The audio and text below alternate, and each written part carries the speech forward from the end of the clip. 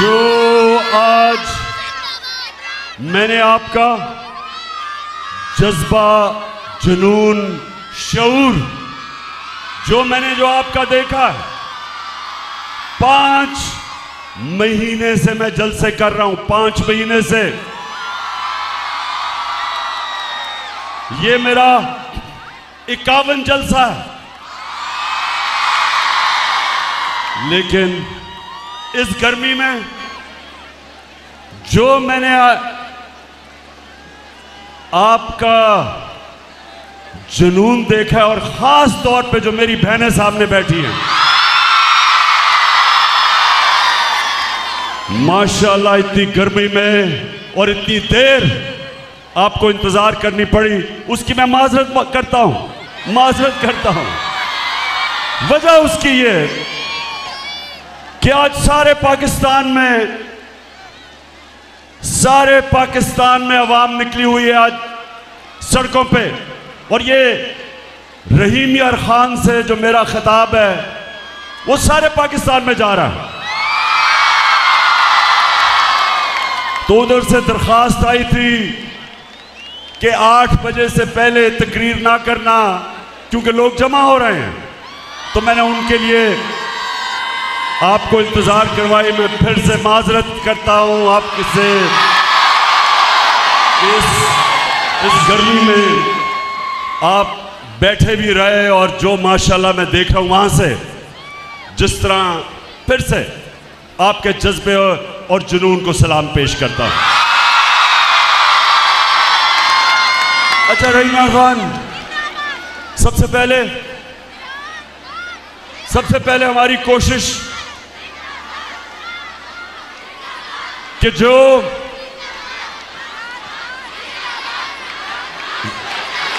शुक्रिया शुक्रिया शुक्रिया। माशाल्लाह, शुक्रिया।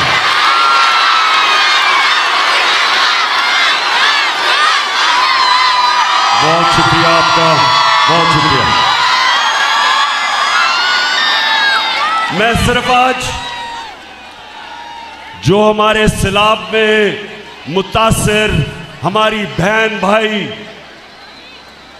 बच्चे, जितने भी वो मुतासर हैं, हम सबको जितनी भी हम कोशिश कर सकें इनकी मदद करने के लिए, मैं अपने सारे पाकिस्तानियों को आज कहता हूँ कि हम उनकी थोड़ी सी भी मदद करें या ज़्यादा, करें ज़रूर, क्योंकि वो मुश्किल में है। और ख़ास तौर पे सिंध में, मैंने यहाँ आने से पहले पूरे ट्रक भिजवाए हैं सिंध के अंदर, क्योंकि वहाँ लोगों को मुश्किल हैं, भूख है, उनके सर पे छत नहीं है, चारों तरफ़ पानी है। तो इन, इंशाल्लाह, एक तो ये भिजवाए और इंशाल्लाह, मैंने पैसे इकट्ठे किए हैं तीन टेलीथॉन में, और आपको खुशी होगी कि तीन यानी आठ घंटे में आठ घंटे में पाकिस्तानियों ने चौदह अरब रुपया चौदह सौ करोड़ रुपया दिया मुझे। कैसी है ये अमल आओ हम सब साथ चले। तो ये ये है हमारे पाकिस्तानी। अगर उनको ये एतमाद हो जाए कि हमारा पैसा सही जगह जा रहा है कोई कौम दुनिया में पाकिस्तानियों से ज़्यादा खुले दिल की कौम नहीं है। लेकिन मुझे अफसोस हुआ कि हमारा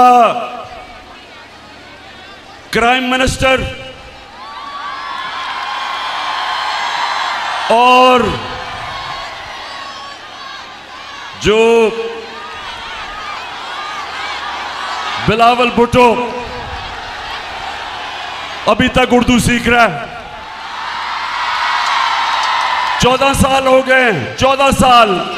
अंग्रेज़ भी दो सालों के अंदर उर्दू बोल रहे हैं। वो चौदह साल अभी भी उर्दू नहीं बोल सकता। तो ये दोनों अमेरिका गए हुए हैं। मैं सबसे पहले इनसे सवाल पूछता हूँ कि वो तुम क्या करने गए हो अमेरिका? अजाब आया हुआ है, अल्लाह का इम्तिहान पाकिस्तान पे आया हुआ है। सारी दुनिया, वो एक अमरीकी एक्ट्रेस भी आई हुई है, सैलाब मुतासरीन की मदद कर रहे हैं। तो आप यहाँ से उठ के उधर किधर चले गए हैं?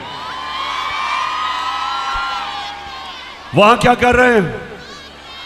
पहले तो मैं ये बता दूँ कि वहाँ महँगे तरीन होटलों के अंदर ठहरे हुए हैं।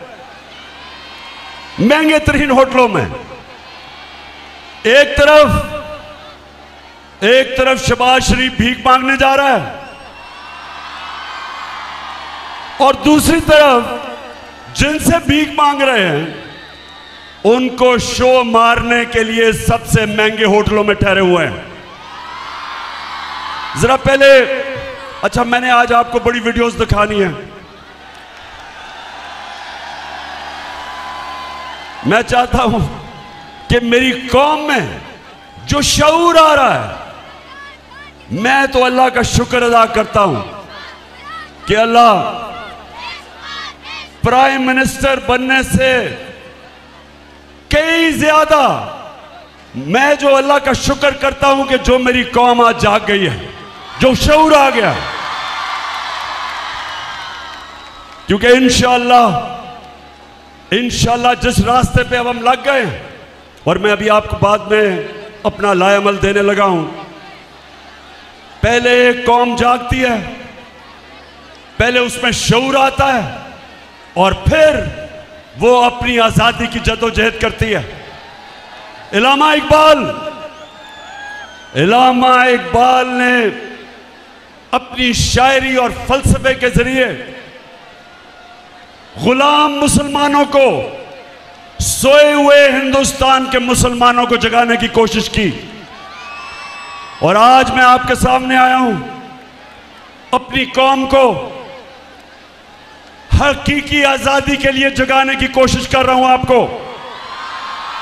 और मैं खुश हूँ कि जिस कौम की, जिस कौम की माएँ, बहनें और खातन जाग जाती हैं, वो आज़ाद हो जाती है। जिस कौम के नौजवान जाग जाते हैं, उस कौम को कोई गुलाम नहीं बना सकता। और इंशाला मैं अभी इसके ऊपर भी आ रहा हूँ। सबसे पहले, मेरे पाकिस्तानियों, सिर्फ़ आप ये देखें, मैं बार बार आपको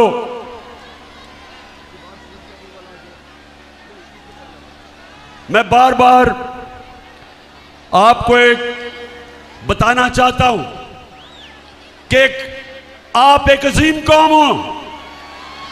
हमारा मसला इस मुल्क के लीडर हैं।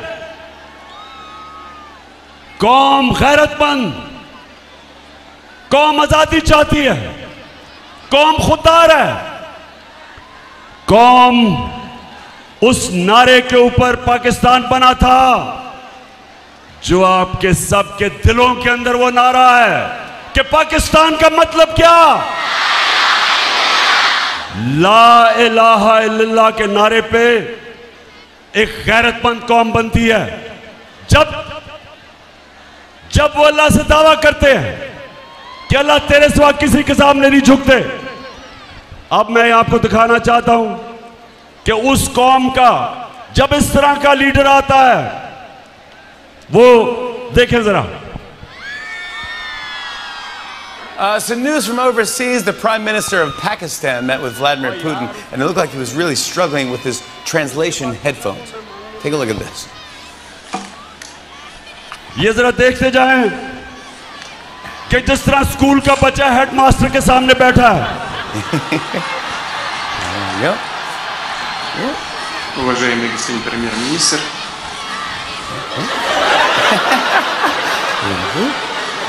काम पे टांग रही है Yeah, you can see.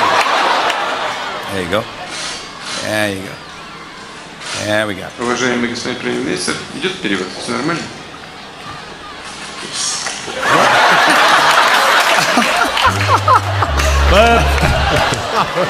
That guy is the leader of 220 million people. I just want to let you know.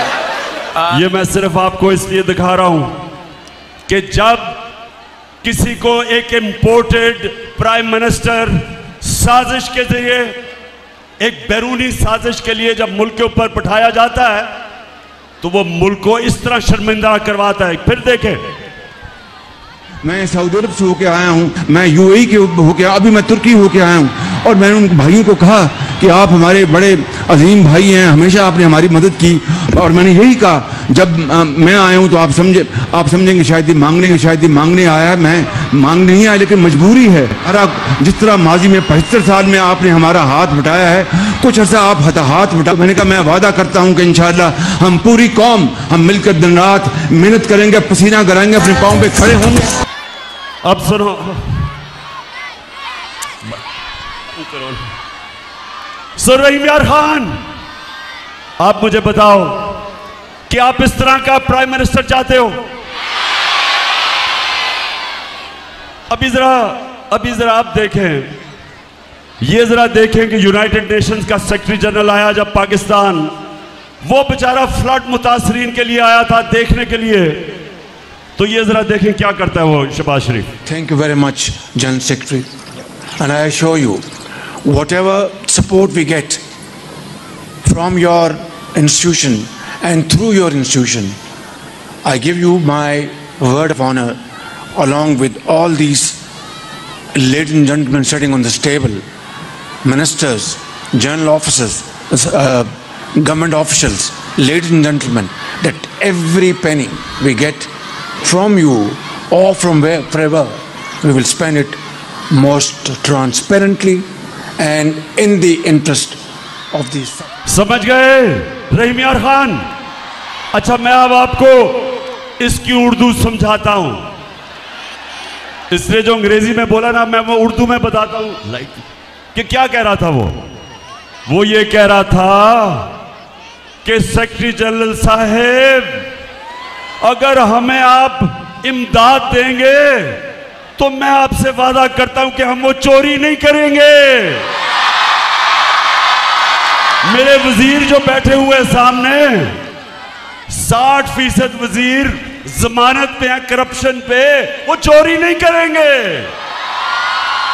वो आपसे वादा करते हैं, क्योंकि सेक्रेटरी जनरल साहब, आप पैसा दे रहे हैं तो आप हम ईमानदारी से खर्च करेंगे। पहले चोरी करते थे। अच्छा अब अब रहीमियार खान देखें, मैं ये आपको ज़रूर ये चीज़ें बताना चाहता हूँ। आप और मेरी बहनें आप सामने, आपके लिए मैं खास तौर पे कहना चाहता हूँ। अगर आपने एक चीज़ अपने बच्चों को सिखाना है तो ये समझ लें। अपने बच्चों को एक चीज़ सिखाएँ कि दुनिया उस इंसान की इज़्ज़त करती है जो इंसान अपनी खुद इज़्ज़त करता है। आप अगर अपनी इज़्ज़त नहीं करेंगे, दुनिया आपकी इज़्ज़त नहीं करेगी। और मेरी बहनों, अपने बच्चों को एक और चीज़ सिखाएँ कि ला इलाहा इल्लल्लाह इंसान को गैरत देता है, गैरत देता है। आप जब अल्लाह से दावा करते हैं कि मौला, तू ही मेरा खुदा है, मैं किसी बुत के सामने नहीं झुकूँगा। बुत का मतलब कि मैं किसी खौफ के बुत किसी लालच के, किसी पैसे के बुत के सामने नहीं झुकूँगा। ये इंसान को गैरत देती है। और मेरी बहनों, मेरी सारी ज़िंदगी का तजर्बा यह है कि सबसे बड़ा इंसानों के अंदर जो मैंने फ़र्क देखा है, वो है गैरत। एक गरीब आदमी भी जिसमें गैरत होती है, दुनिया उसकी इज़्ज़त करती है। और अरबोपति, इस तरह का क्राइम मिनिस्टर अरबोपति की कोई इज़्ज़त नहीं करता, जो अपनी इज़्ज़त नहीं करता, जिसमें गैरत नहीं होती। अब ये देखें, ये जरा आपने गौर से देखना है, बतिया बंद करें। ये देखें कि ये आप अमेरिका में जाके हमारा करोड़ों रुपया खर्च किया और अमेरिका में जाके ये क्या कह रहा है, ये जरा इंटरव्यू सुना, अंग्रेज़ी में, फिर मैं आपको उर्दू में बताता हूँ क्या कह रहा है। Relief unless we get substantial relief how can the world expect from us to stand on our own feet it is simply impossible next to impossible the world has to stand by us and there your ask and what is available please through your cameras have this yawning gap bridged and bridged very quickly, the epidemic. It is waiting for us. Please help us in uh, क्या कह रहा है? Interview दे रहा है सुना जरा। मेरी बहनों मुझे पता बड़ी गर्मी है लेकिन सुनना ज़रूरी है आप में बड़ा सबर है। एक इंटरव्यू दे रहा है। अमेरिका जाने की ज़रूरत नहीं थी वो इंटरव्यू देने के लिए। वहाँ जाके उसको कह रहा है कि हमारे मुल्क के हालात बहुत बुरे हैं। खुदा के वास्ते हमें पैसा दिलवा दो। वो जो भी आप देख रहे थे, वो तो बेचारी इंटरव्यू लेने वाली है। उसे कहता है कि अपनी चैनल के ज़रिए लोगों को कहो कि हमें पैसे की ज़रूरत है। हमारा दिवालिया निकल गया।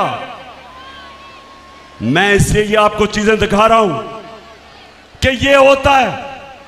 जब एक मुल्क के ऊपर एक मसनू लीडर बैठा दिया जाता है, इसको क्यों लेके आए? इसको इसलिए नहीं लेके आए कि इसमें कोई कियादत की, इसमें कोई क्वालिटी थी। इसको इसलिए लेके आए कि ये जो भी हुक्म मिलेगा बाहर से, ये सारे हुक्म मानेगा। ये अगर आईएमएफ कहेगा कि महँगाई करो, बिजली की कीमत ऊपर करो पेट्रोल और डीजल की कीमत बढ़ाओ। ये सारे काम करेगा, क्योंकि इसको पीछे से डिक्टेशन आता है। और ये करेगा क्या कि बाहर की दुनिया पे जाके इमदाद लेगा कि जी हमें पैसे दे दो, हम मारे गए। तो रहीम यार खान, मैं जब आपको हकीकी आज़ादी के लिए खड़ा कर रहा हूँ, मेरा मकसद क्या है? कि अगर हमारी कौम खड़ी ना हुई और इसी तरह के चोर हमारे ऊपर मुसलत रहे। तो रहीम यार खान, ये याद रखो, इस मुल्क का कोई मुस्तकबिल नहीं है। इस मुल्क का कोई मुस्तकबिल नहीं है। अगर इस तरह के करप्ट लोग, जिसको सजा होने वाली थी एफ़ एफआईए के केस में शबाज शरीफ और इसके बेटे को सजा होने वाली थी 16 अरब रुपए की इनके केसेस रोके गए और बाहर से साजिश के तहत हमारे ऊपर इसको मुसलत किया गया। इसके अलावा 60 फ़ीसद इनकी कैबिनेट जो जमानत पे है, इनके ऊपर करप्शन केसेस हैं। एक तरफ़ दुनिया से भीख मांग रहे हैं, एक तरफ़ सिंध में सलाब आया हुआ है। एक तरफ़ हम कह रहे हैं कि हमारे पास पैसे नहीं हैं, और दूसरी तरफ़ ये जो कैबिनेट आई है और ये जो इंपोर्टेड हुकूमत आई है, इन्होंने नैब का कानून बदल के इस कौम का 1100 अरब रुपया माफ़ करवाया है। 1100 अरब रुपया जो चोरी किया हुआ था इन्होंने एनआरओ लिया, इन्होंने आके अपने आप को दिया। माफ़ करवाया, जो पैसा आपका था, जो पाकिस्तानी कौम से चोरी हुआ हुआ था तो इनका मकसद अपनी चोरी बचाना था। बाहर के लोग जो इनको मुसलत किया, उनका मकसद यहाँ ऐसी क्यादत हो, जिसको वो कंट्रोल कर सकते हैं। और इसलिए मैं जो अभी आखिर में आपको लाया मल दूँगा। हमने तैयारी करनी है पाकिस्तानियों, अपनी हकीकी आज़ादी के लिए। हमने अपनी हकीकी आज़ादी के लिए निकलना पड़ेगा हमें। कभी भी किसी कौम को आज़ादी प्लेट में नहीं दी गई। आज़ादी के लिए जदोजहद करनी पड़ती है। आज़ादी के लिए कुर्बानियाँ देनी पड़ती हैं। मैं अब अपनी कौम के सामने। दो तीन चीज़ें अब आपके सामने रखने जा रहा हूँ। मैं चाहता हूँ कि बड़ा गौर से मेरी बात सुननी है, क्योंकि सारे जितने भी, आज जिधर भी पाकिस्तान में मेरी कौम निकली हुई है, मैं आज आप सबको पैगाम देना चाहता हूँ। मेरी कौम, एक बात याद रख लो, कि जब जब एक कौम जिस तरह मेरे नबी सल्लल्लाहु अलैहि वसल्लम, अल्लाह के आखिरी पैगंबर, उन्होंने जो 1500 साल बाद पहले की थी, सब याद रख लें। उन्होंने कहा था कि वो कौमें तबाह हो जाती हैं। वो कौमें तबाह हो जाती हैं। जिधर छोटा चोर चोरी करे तो जेल में, और ये बड़े डाकू जो मुल्क को लूट के पैसा बाहर लेके जाते हैं जो कौम इनको सजा नहीं दे सकती, वो कौम अपनी तबाही के रास्ते पर निकल जाती है। आज रहीम यार खान, या आज अगर हम चुप करके ये कबूल कर लें कि 1100 अरब रुपया जो इस कौम को चोरी किया इन्होंने और इनको हमारे ऊपर मुसलत किया और अगर हम ये कबूल कर लें इस चोरी को, और अगर हम गुलामों की तरह इनसे अपनी आज़ादी छीनने की ना कोशिश करें और मान जाए गुलामी तो मेरे सारे पाकिस्तानी जो देख रहे हो, हमारा कोई मुस्तकबिल नहीं है। अगर इसी तरह ज़िंदा रहना है कि हमारा सरबरा बाहर जाके हाथ फैलाए और पैसे मांगे। इस तरह कि जी हम तबाह हो जाएँगे। अगर आपने पैसे ना दिए, पैसे मांगने के लिए, हर आपकी खिदमत करने के लिए तैयार है। जो भी पैसा देगा, पाकिस्तानियों, याद रखो, वो आपकी आज़ादी का सौदा करेगा। इस मुल्क की सॉवरेंटी वो सॉवरेंटी के ऊपर सौदा करेगा। कोई, वो कहते हैं there is no free lunch कोई चीज़ मुफ़्त नहीं आती। पहले आपने तीस साल इन दोनों ने हुकूमत की। मुल्क का दिवालिया निकाला। मुल्क को मकरूज किया। और आज वही लोग आज बाहर जा रहे हैं पैसे मांगने के लिए। क्यों लोग इनको पैसे नहीं देते?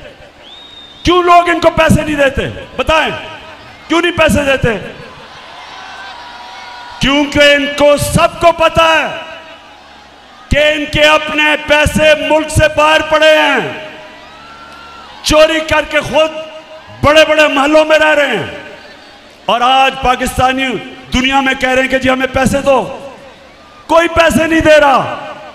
जो सिंध के अंदर और बलूचिस्तान में खास तौर पे जिस तरह का फ्लड आया, आज दुनिया को, पाकिस्तान को पैसा देना चाहिए था।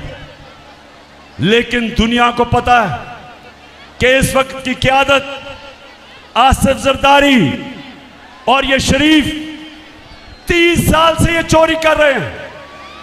बाहर के अखबारों में इनकी चोरियों के ऊपर लिखा हुआ है। बाहर के मीडिया पे इनकी डॉक्यूमेंट्री चोरियों की चली हुई है। कभी भी वो इनको पैसे नहीं देंगे, जिसकी वजह से सिंध के और बलूचिस्तान के, खास तौर पे इन दो सूबों की बात कर रहा हूँ, सैलाब के मुतासरीन मुश्किल में है। तो मैं आज अपनी कौम के सामने, रहीम यार खान, कौम के सामने आज मैं जो बात करना चाहता हूँ वो ये कि देखे मेरी, इन्होंने ये जो साजिश की थी इन्होंने इन्होंने पूरी तरह कोशिश की कि इमरान खान को नाहल किया जाए। क्योंकि डरे हुए हैं, डरे हुए हैं पाकिस्तानी अवाम से कि जब भी इलेक्शन होंगे, इनको पता है कि इस वक्त तहरीक इंसाफ जीत जाएगी। तो इलेक्शनों से भाग रहे हैं और कोशिश कर रहे हैं कि इमरान खान को नाहिल किया जाए।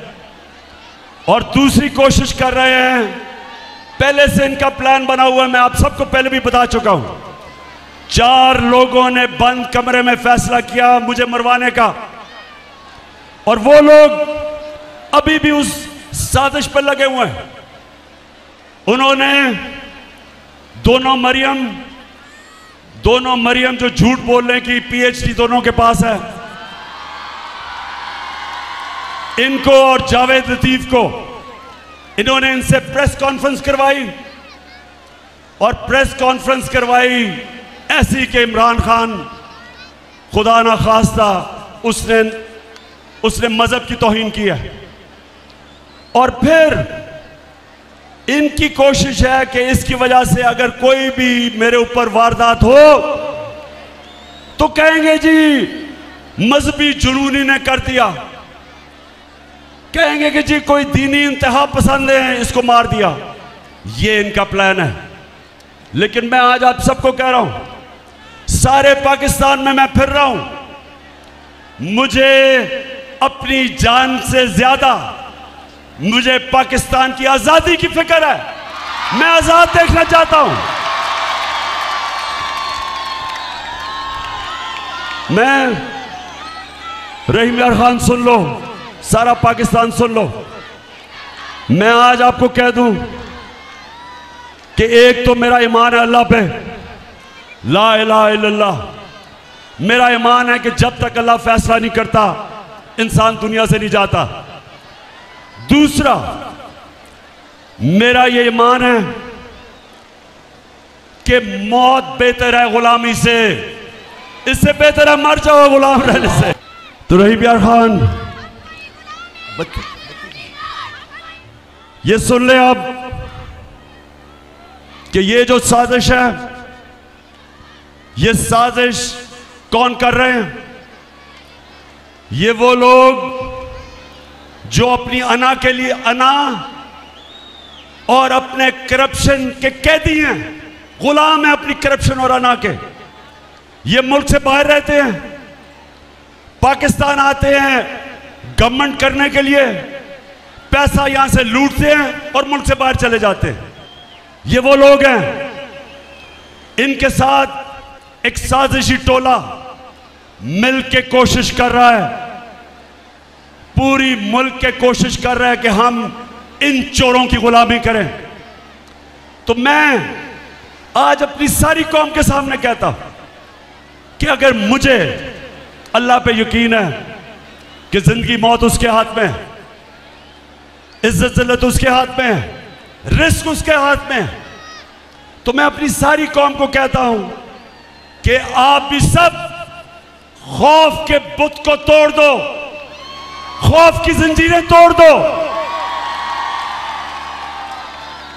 सारी कौम को मैं कहता हूँ कि आप तैयारी करें। आप मेरी कॉल की तैयारी करें। क्योंकि मैंने फैसला किया है कि मैंने किसी सूरत, इन चोरों को किसी सूरत कबूल नहीं करना। रहीम खान जो आज हो रहा है हर रोज हम सुनते हैं कि इनके केसेस माफ़ हो रहे हैं। अब हम ये सुन रहे हैं कि इसहाक डार पाकिस्तान आने वाला है।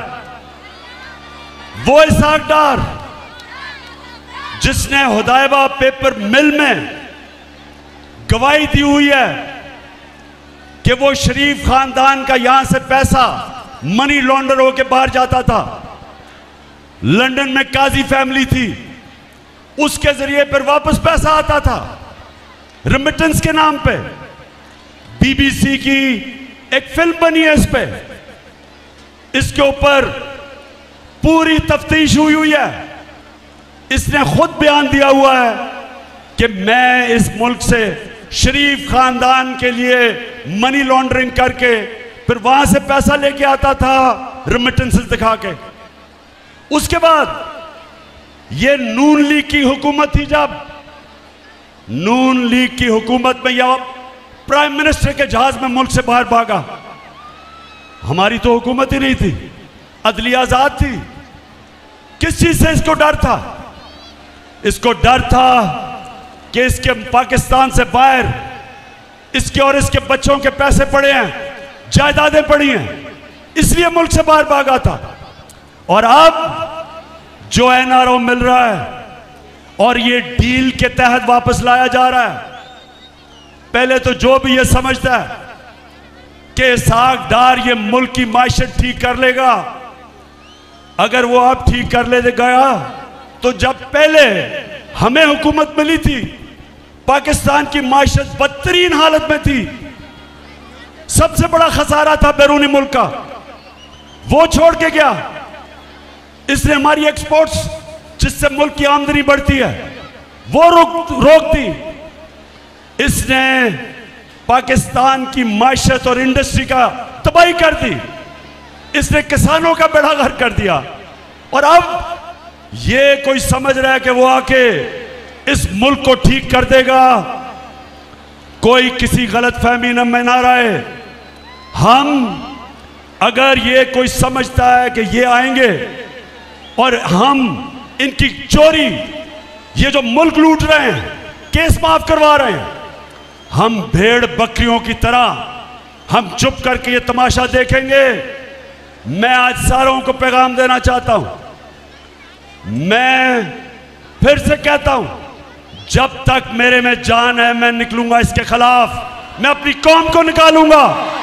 आज आज जो मुल्क की माशत है वो खुद ही शबाज शरीफ ने न्यूयॉर्क में जाके कह दिया कि हमारा दिवालिया निकलने लगा है। हम अपने कर्जों की किस्तें वापस नहीं कर सकते। हमारे मुल्क के हालात बहुत बुरे हैं। तो मैं आज उन सबसे पूछता हूँ, जिन्होंने यह साजिश करके हमारी हुकूमत हटाई थी, मैं आज इन सबसे पूछता हूँ कि आज आप सारी कौम के सामने जिम्मेदार हैं। जो आपने इस मुल्क से किया, वो मुल्क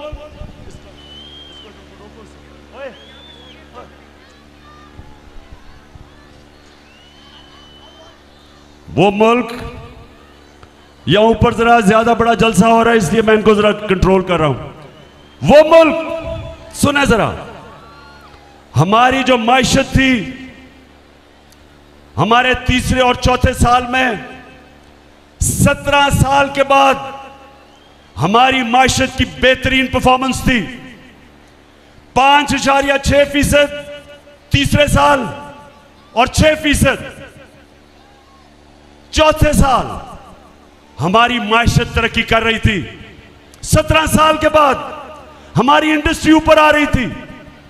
हमारे किसानों को जो हमने पैकेज दिया, चार फ़सलों में रिकॉर्ड प्रोडक्शन थी रिकॉर्ड पैदावार थी, चार फ़सलों में इंडस्ट्री भी आगे जा रही थी।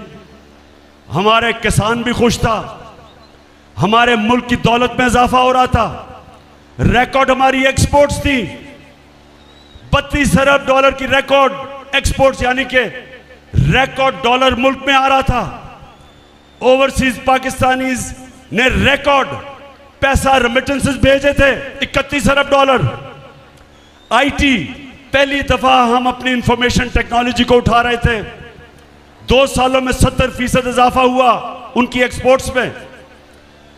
हमारा टैक्स कलेक्शन पाकिस्तान की तारीख के सारे रिकॉर्ड तोड़ दिए।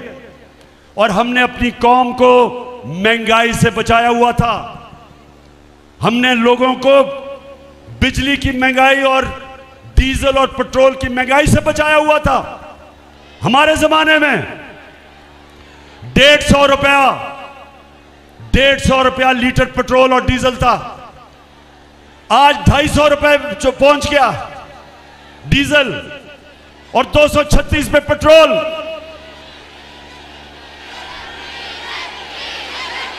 बिल्कुल बिल्कुल।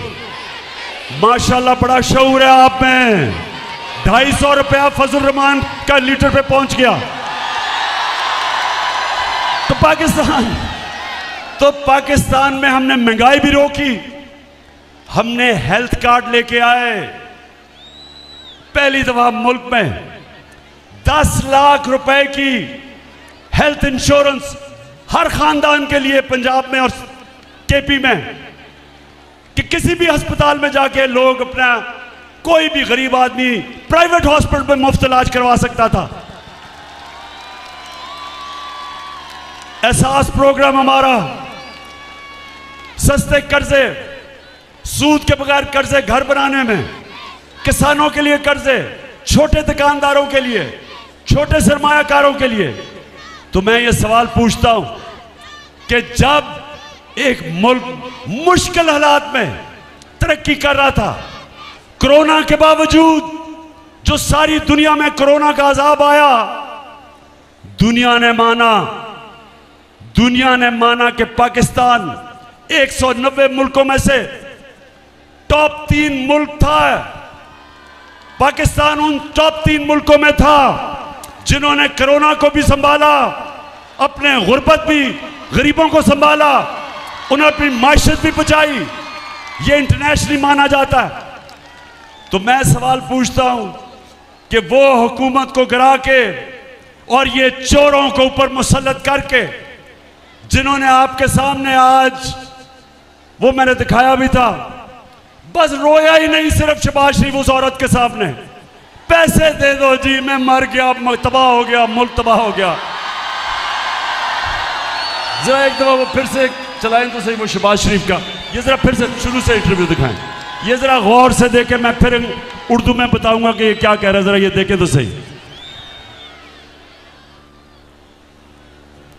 Relief unless we get substantial relief how can the world expect from us to stand on our own feet it is simply impossible next to impossible the world has to stand by us and there is your ask and what is available Please, through your cameras, have this uh, yawning gap bridged and bridged very quickly, the epidemic.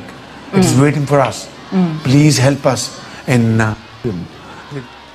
सुन लिया please help us खुदा के वास्ते हमारी मदद करो वो बेचारी वो मेरी बहनों आपने देखा था वो बेचारी औरत की आँखों में आँसू ही आ गए कि मैं खुदा के वास्ते प्लीज़ मेरी मदद करो शबाज शरीफ, बड़ी जल्दी थी इकतदार में आने के लिए।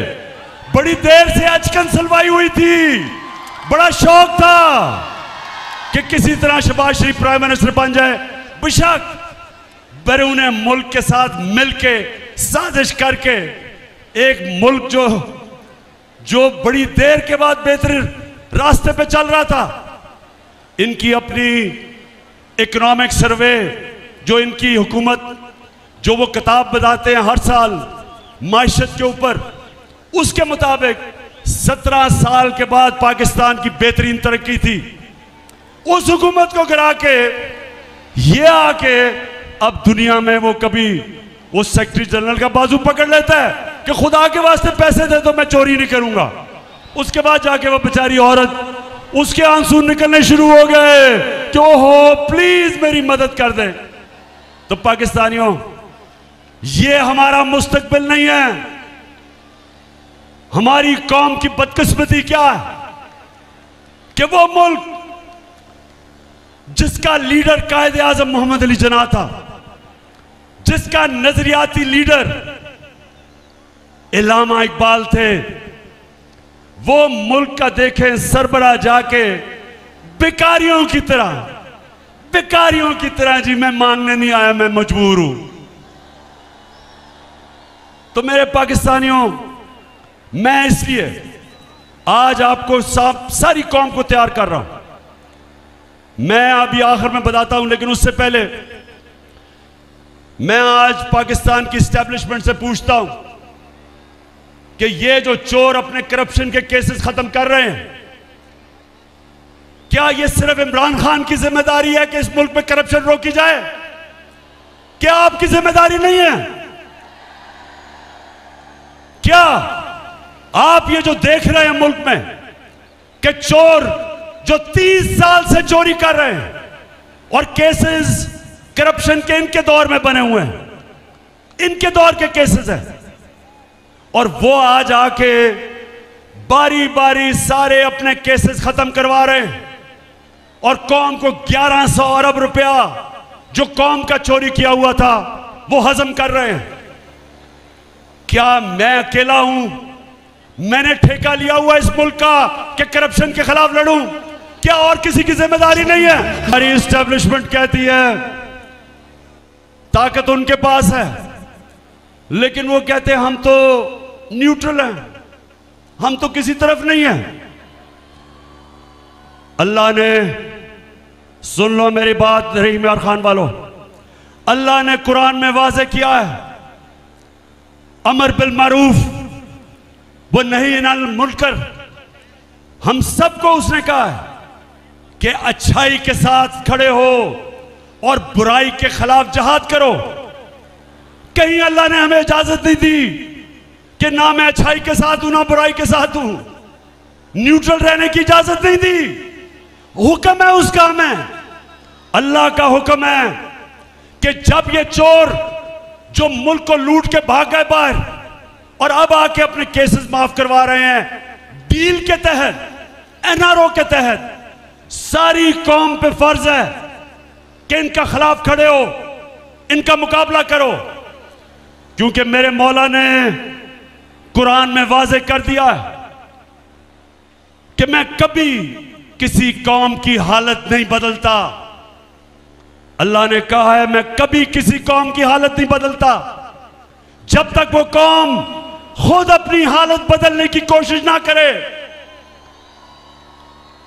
अगर एक कौम भेड़ बकरियों की तरह रहना चाहती है, अल्लाह वैसे ही रखेगा। अगर एक कौम आज़ाद होना चाहती है, हकीकी आज़ादी चाहती है, और हकीकी आज़ादी का मतलब हकीकी जमहूरियत हकीकी जमहूरियत इंसान को हकीकी आज़ादी देती है। इसके लिए इंसानों को जब से अल्लाह ने दुनिया बनाई है जदोजहद करनी पड़ती है। किसी जमहूरियत में यह नहीं होता कि जो इमरान खान और तहरीक इंसाफ की सहाफ़ी जो उनके लिए उनका मौकफ पेश करें, उनको धमकियाँ, उनके खिलाफ एफ़ आई आर वो मुल्क से बाहर उनको भजवा दो। जो चैनल इमरान खान का मौकफ पेश करे, उसको बंद कर दो। उसके ऊपर उसके ऊपर हर किस्म की धमकियाँ दो। वो जो हमारे सोशल मीडिया के नौजवान सारे पाकिस्तान में, जो हमारे भी नहीं हैं, जो इस कौम के लोग हैं, जो भी सोशल मीडिया में कोई ऐसी चीज़ के जो पसंद नहीं है, उनको धमकियाँ आती हैं। नामालूम नंबर से धमकियाँ आती हैं। डराया जाता है। खौफजदा किया जाता है। मैं इसलिए आप सबको यह कहना चाहता हूँ कि आज़ाद कौमों के अंदर यह नहीं होता। यह सिर्फ़ गुलाम कौमों में होता है। आज़ाद जमहूरियत, जो जमहूरियत आज़ादी देती है, उस जमहूरियत में यह नहीं होता। और जब तक हकीकी जमहूरियत ना आए, कौम तरक्की नहीं करती, कौमें नहीं तरक्की करती। तुर्की, जब तक तुर्की में हकीकी जमहूरियत नहीं आई, उसने तरक्की नहीं की। बांग्लादेश, जब तक उनकी जमहूरियत बेहतर नहीं हुई, बांग्लादेश ने तरक्की नहीं की और आज हमारे से आगे निकल गया। हमें रोका हुआ इसने कि हम आज़ाद नहीं हैं। हमें डराया, धमकाया जाता है। तो रहीम यार खान और पाकिस्तान में जो भी देख रहे हो मुझे, आगे से नामालूम नंबर से आपको कोई धमकियाँ दे, वापस उसको धमकी दो। रहीम यार खान, मुझे वादा करो, किसी को भी आगे से नामालूम नंबर से धमकी आई तो मेरे से वादा करना है कि आपने वापस उसको धमकी देनी है। आपने उसे कहना है, जब वो धमकी दे, उसे कहना मेरा आइन, इस मुल्क का कानून मुझे इजाज़त देता है आज़ादी राय पे। फ्रीडम ऑफ़ एक्सप्रेशन ये मेरा बुनियादी हक है। और एक आज़ाद मुल्क की आज़ाद अदलिया उसको इजाज़त देती है ये, कि वो अपने हकूक के लिए खड़ा हो सके। और माशाल्लाह, आज हमारी अदालतों ने बड़ी आगे बढ़े। हमारी अदालतें ऐसे नहीं थी पहले। पहले तो कंट्रोल थी। एक बड़ी जदोजहद के बाद आज हमारी अदालतें आज़ादी की तरफ़ जा रही हैं। कौम पूरी इनके साथ खड़ी हो और अदालतों को कौम के बुनियादी हकूक की हिफाजत करने के लिए खड़ा होना चाहिए। अच्छा अब अब एक और चीज़। रहीमर खान, ये याद रखना, मैं फिर से आपको दोहराता हूँ। कभी कोई आज़ादी प्लेट पे रख के नहीं देता। कोई नहीं कहता कि आओ आज़ादी ले जाओ। इंसानी तारीख हमें यह बताती है कि कौम में अपनी आज़ादी जदोजहद करके, जहाद करके लड़ती है। यह वक्त आ गया। मेरे पाकिस्तानियों ये वक्त आ गया कि हम अपनी आज़ादी लें। ये जो चोर, ये जो डाकू, ये जो हमारे ऊपर मुसलत किए गए हैं, ये जो एनआरओ वाले, ये जो बाहर बैठ जाते हैं मुल्क से बाहर बड़े बड़े महलों में रहते हैं। मुल्क को लूटने आते हैं और चोरी करके फिर बाहर चले जाते हैं। वक्त आ गया है, पाकिस्तानियों, इनके सामने खड़ा होना।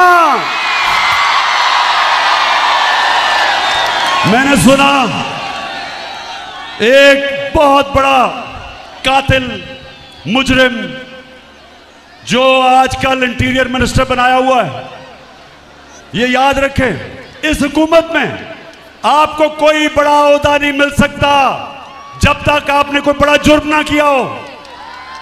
जितने बड़े मुजरिम, उतने बड़े होते तो राना सनाउल्ला को उन्होंने इंटीरियर मिनिस्टर बनाया। राना सनाउल्ला कहता कि अब जब ये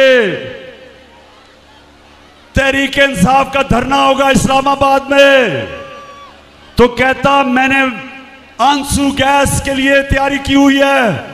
और मैंने पैलेट गन्स यानी पैलेट गन्स भी तैयार किए हुए हैं। मैं राना सनाउल्लाह पहले तो पूछता हूँ, वैसे तुम्हारे में अकल तो है नहीं, लेकिन मैं फिर यह पूछता हूँ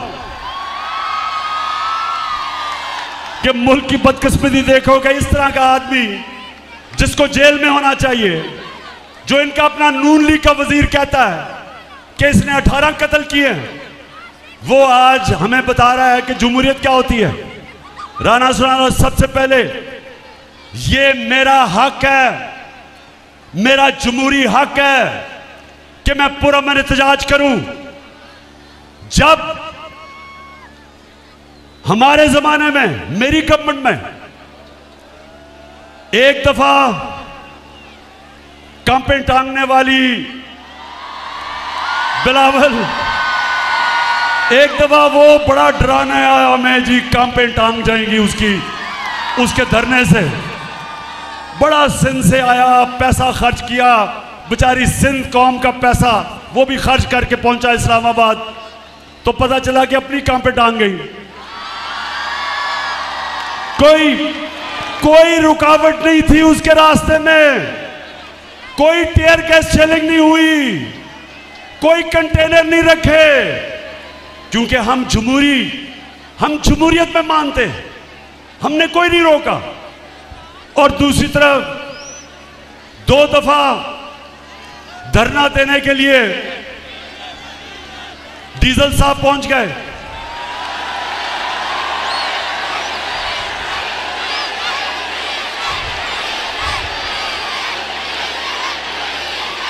डीजल ने बड़ा डराया कि हुकूमत कराने आ रहा हूँ मैं। ऊपर से ये भी क्या मुझे इशारा मिला कहीं से। तो डीजल पहुँच गया दो दफ़ा। उससे पूछो, एक रुकावट उसके सामने नहीं रखी, बल्कि डीजल को हमने कहा कि अगर खाने पीने की ज़रूरत होगी तो वो भी हम आपको दे देंगे धरने में। और ये राना सनाउल्ला हमें डरा रहा है कि जनाब तुम आओ तो मैं वो पैलेट गन चलाऊँगा तो टेयर गैस चलेंगे। राना सराउल्ला तुम और ये जो तुम्हारा डरपोक cherry blossom boot polish Shehbaz Sharif, तुम दोनों मेरे से सुन लो। पहली दफ़ा जब हमने 25 मई को, हम जब आए थे इस्लामाबाद तो हमें यह अंदाज़ा नहीं था कि तुम जुल्म करोगे।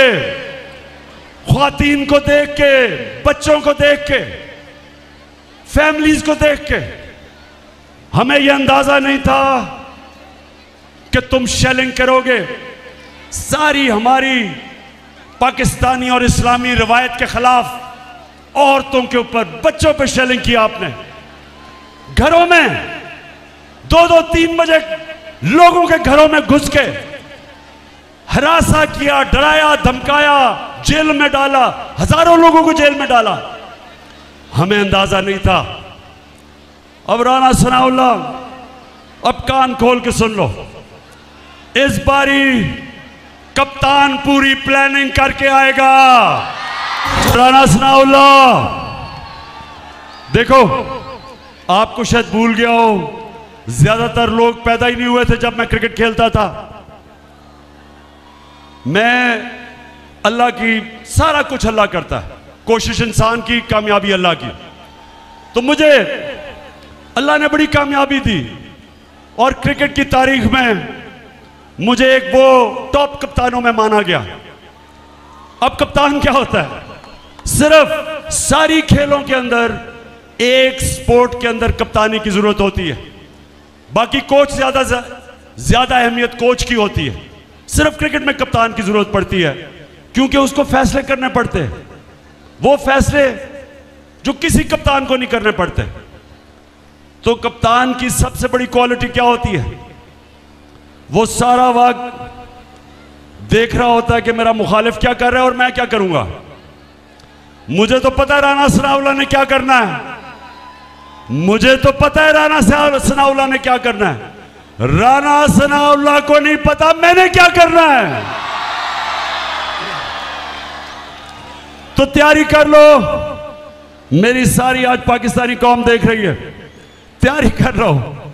लेकिन मैं उससे पहले खत्म करने से पहले एक तो बताना चाहता हूँ। मैं ये ज़रूर दिखाना चाहता हूँ आपको कि किस तरह के लोग हमारे ऊपर मुसलत किए गए हैं। जो स्टार है जो नवाज़ शरीफ की जो स्टार मानी जाती है, वो उसकी बेटी मरियम है। अब मरियम उसकी फैमिली में सबसे अक्लमंद समझी जाती है। अब जरा ये आप तमाम ये जरा देखें खातन ये जरा गौर से देखें। ये पहले देखें कि जब मैंने कहा कि आपके लंदन में ये महँगे महँगे इलाके में चार महलात किधर से आए तो ये सुने क्या कहती है? कि इस तरह मुझे लगा कि आप लोगों को बेवकूफ़ नहीं बना सकते। मेरी सेंट्रल लंदन में प्रॉपर्टी तो दूर की बात है मेरी पाकिस्तान में भी कोई प्रॉपर्टी नहीं है। मैं अपने वालिद के साथ है। और आ, मुझे समझ नहीं आई कि मेरी और मेरी वालदा की और बहन भाइयों की प्रॉपर्टीज़ ये कहाँ से निकाल के ले आए हैं? मेरे नाम पाकिस्तान में कोई प्रॉपर्टी नहीं है ये तो इंग्लैंड की बात है। सुन लिया? रमियार खान सुन लिया? मेरे पास तो कोई प्रॉपर्टी ना इंग्लैंड तो दूर की बात है। पाकिस्तान में मैं, मैं बेचारी मुझे तो हर रोज घर ढूंढना पड़ता है कोई छत मिल जाए। अब ये सुने अब इस मरियम को नहीं पता था कि अल्लाह अल हक है। सच का खुदा है। कुरान में वो कहता है मेरा ये वादा है कि सच आखिर में सबके सामने आएगा। उसका वादा है अल्लाह का। तो मरियम को नहीं पता था कि चार साल के बाद एक इंटरनेशनल इंकशाफ होगा। एक इंटरनेशनल इंकशाफ, जिस इंकशाफ में बड़े बड़े दुनिया के मिनिस्टर और वज़ीर और प्राइम मिनिस्टर, उनकी जो प्रॉपर्टीज़ थी, वो दुनिया में सामने आ गई, जिसको कहते हैं पेनामा पेपर्स अब जब इंकशाफ हो गया तो मरियम के बड़े भाई या छोटा भाई, मुझे नहीं पता। वो क्या कहता है, जरा आप ये सुने। मैं इस बात को तस्लीम करता हूँ कि अल्हम्दुलिल्लाह, पाक लेन के ऊपर जो अपार्टमेंट्स हैं, वो अल्हम्दुलिल्लाह हमारे हैं। मैं इस बात को तस्लीम करता हूँ कि उनको ऑफशोर कंपनीज़ नेस्कॉल लिमिटेड और नीलसन लिमिटेड जो है, उनको ओन करती हैं। और मैं आपको ये भी अर्ज़ करता हूँ, उनको होल्ड कर रही है इस वक्त मरियम नवाज़ शरीफ, मेरी हमशीरा जो है। ठीक है जी? सुन लिया। रबिया खान सुन लिया। कि ना तो सिर्फ़ वो हमारी प्रॉपर्टीज़ हैं वो मरियम नवाज़ के नाम पे खरीदी गई।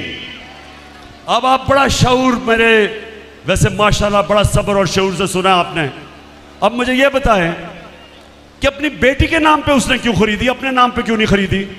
क्योंकि पैसा तो नवाज़ शरीफ का था।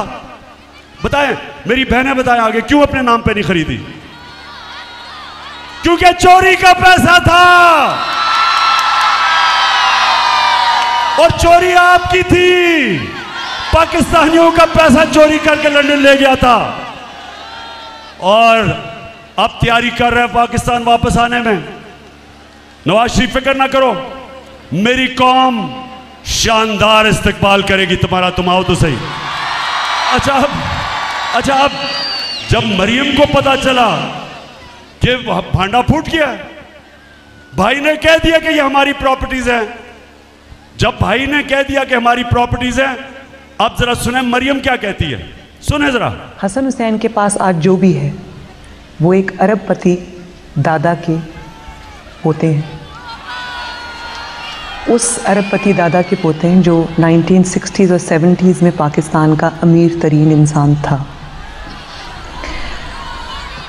ये जो एसेट्स हैं, ये जो बिज़नेस के लिए पैसा है, ये सारा दादा से डायरेक्टली बच्चों को ट्रांसफ़र हुआ।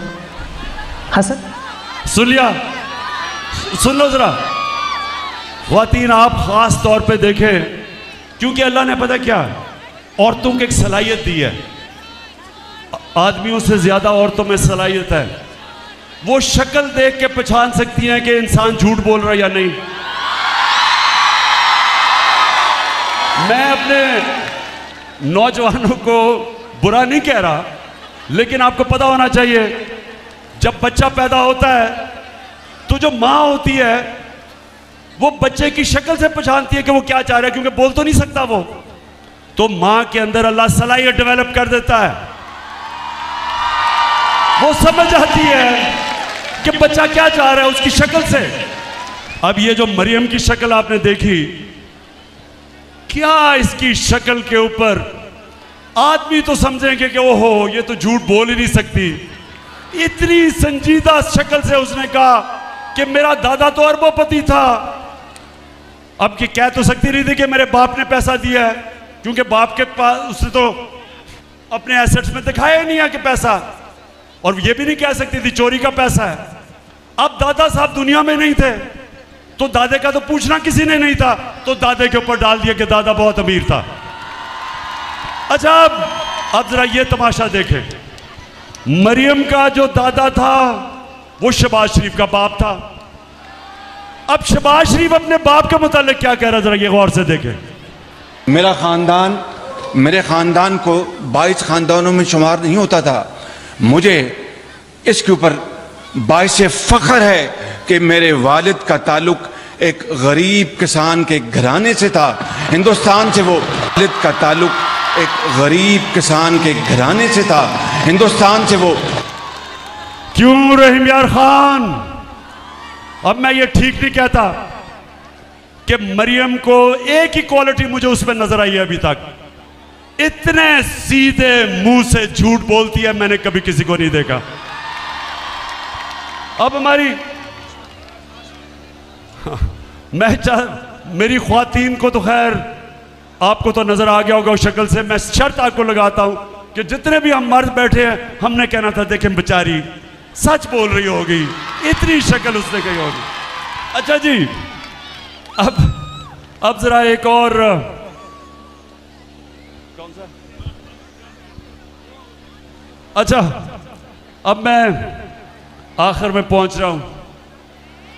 मैंने आज आपसे रहीम खान, आज मैंने फैसला किया था कि मैं लायामल तय करूँगा और अपनी कौम को बताऊँगा कि मैंने करना क्या अब।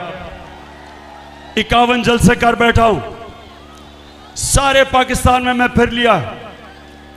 कभी मैंने अपने लोगों में ये शऊर नहीं देखा जो आज मेरी कौम में आया है।